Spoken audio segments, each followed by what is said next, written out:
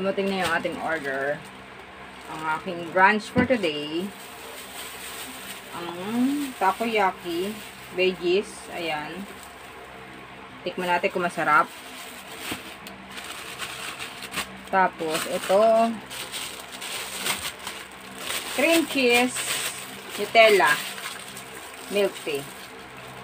Ayan. Ayan, cream cheese, Nutella. Ang ano nito ay Machu's milk tea and takoyaki. Ayan. Let's see kung sarap siya. Ano kasi to, zero sugar ang ni-request ko. Titignan ko kung okay.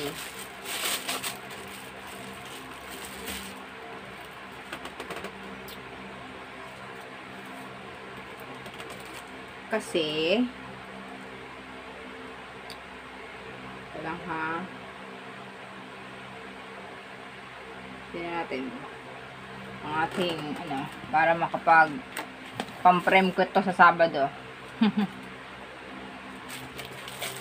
ang ating review. Tea time. It's tea time. Tunaw na. Ang layo pala ng pinanggalingan ito. Wala silang tissue.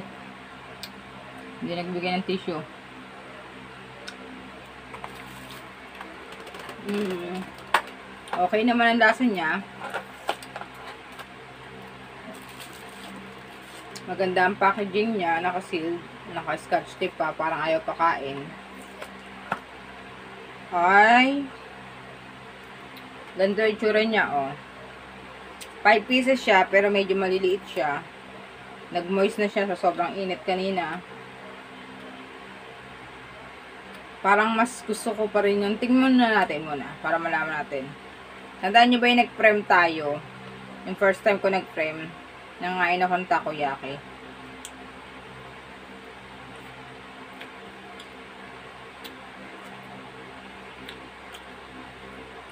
Hmm. Mas bet ko pa rin yung dati. In-orderan ko ng takoyaki yung nakaraan. Kasi yung ma-cheese.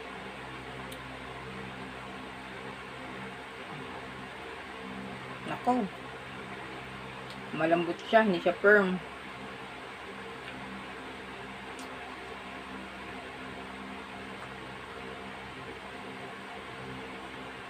Malambot, hindi firm.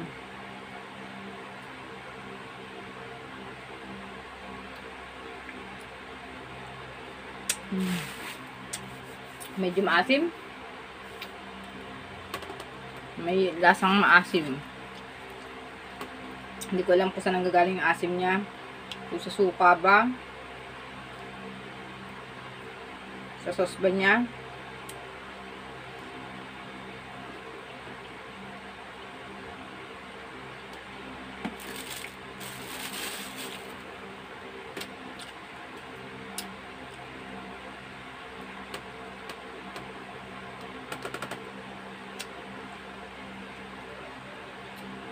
Tapos, ano siya? Wala siya ng ano, ang matawag doon? Yung parang bonito flakes. Yung flakes siya na isda yun eh. Na manipes. Naka-toppings. Eh, yun ang gustong gusto ko man din sa takoyaki. Parang hindi siya kompleto takoyaki pag wala nun eh. Ito wala. Wala siyang bonito flakes. May inis lang, tsaka Ewan ko kung ano yung nilagay na parsley ata na si babaw yung kulay green.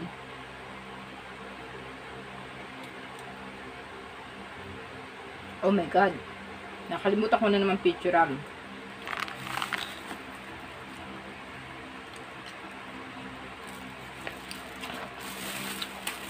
Nawala sa loob ko.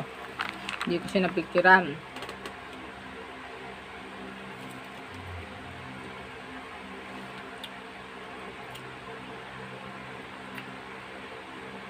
Pwede na to.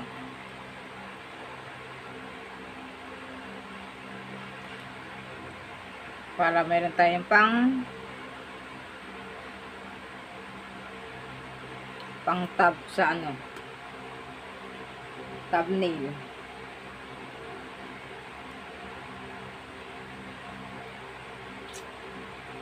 Ako tapos ko lang mag-live eh, actually.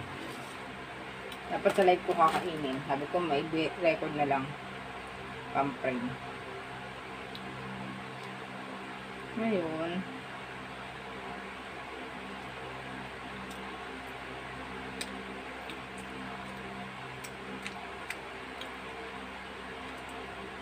Malambot ka. Mas gusto pa yung dati kong ano, in order. May cheese.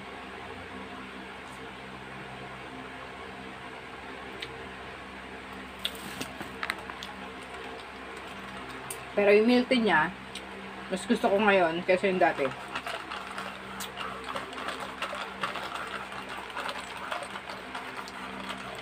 Masarap yung bagay, iba kasi flavor yung dati.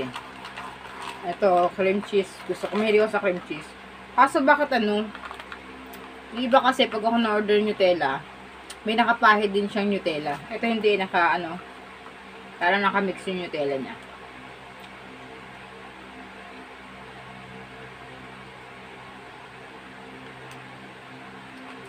Ayan, higong higop. May bumura.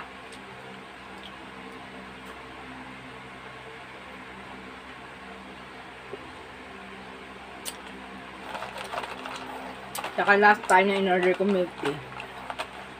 Kasi tunaw na tunaw na yung yelo. At hindi ko to. Mas malayo pa nga to eh. Ang pinanggalingan nito. Mas malayo pa.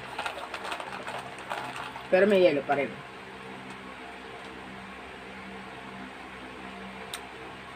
Kasi yung sago nito kakaunti. Tsaka yung pearl niya, hindi katulad nung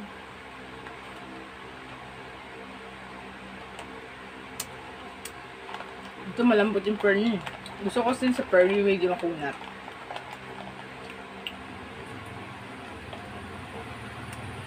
Ito para lang kumain ng ordinaryong sago.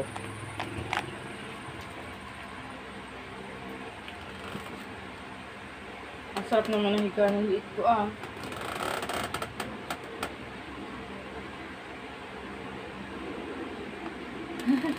Pinicturean ko si liit. Ang quick niya kasi matulog eh.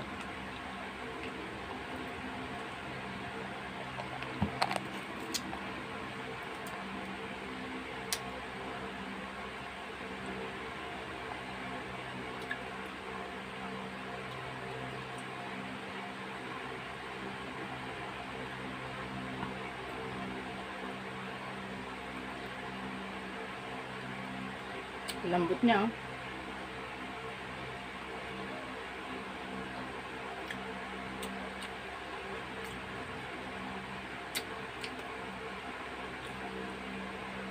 Maasim siya.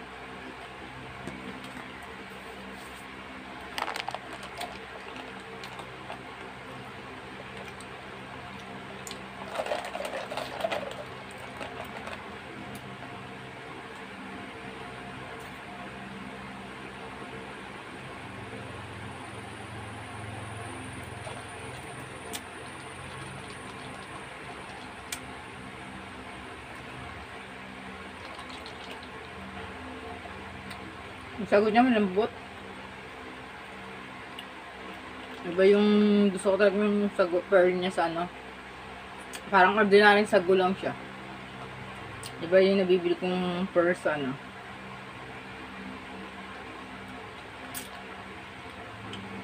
Yung favorite ko ang ano, milk tea.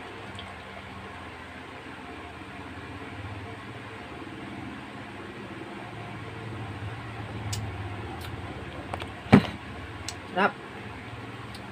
Uhaw na uhaw yung tigaw sa malamig. Kaya gusto ko nag-milk ako. Saka sobra pagod sa tugalaba kanina. Kaya nag-reward ako sa sarili ko. Hindi yung puro pagod, di ba? Mm, mm, mm, mm. Finish.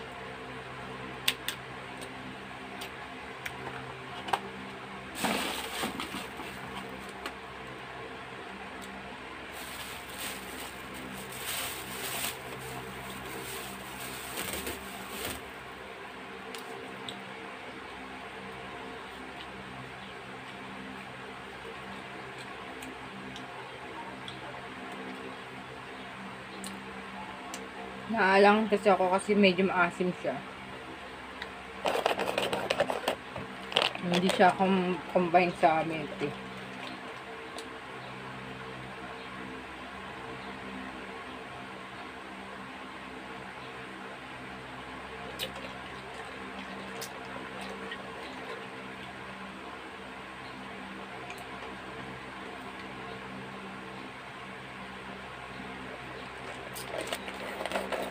Ayan guys, naubos ko na.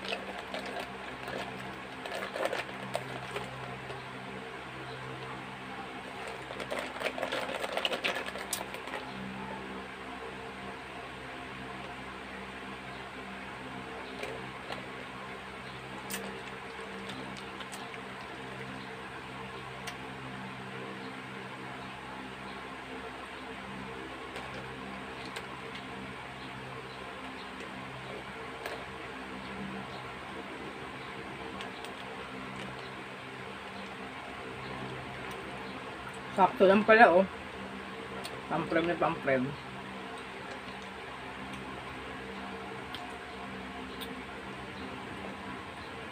Thank you sa Team Pure.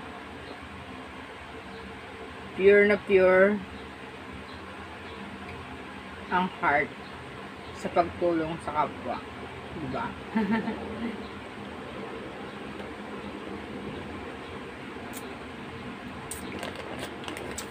Maganda yung ano yan, team support yung mga eh. Supportahan talaga.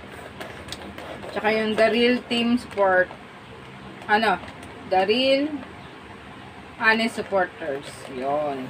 Tsaka yung may ti- yung ginawa kong GC na legit loyalista. Sila talaga yung mga loyalista ko. At tumutulong sa akin. Merong isa doon,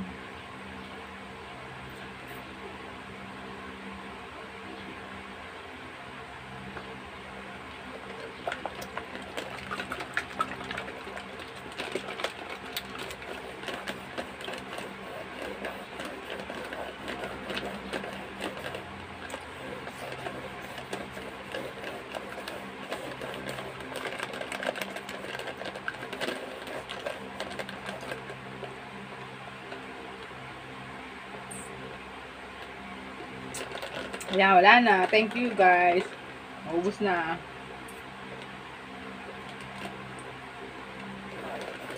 Sakto lang sa pang-frame talaga.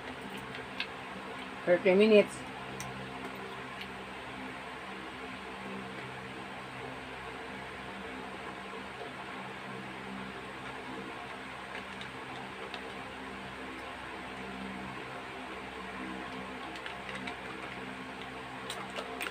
Babait ng panahon, no? Gusto tuloy yelo.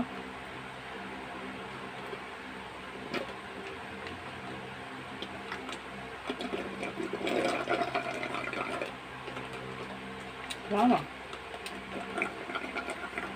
Ah, ah, wala na. Finish na.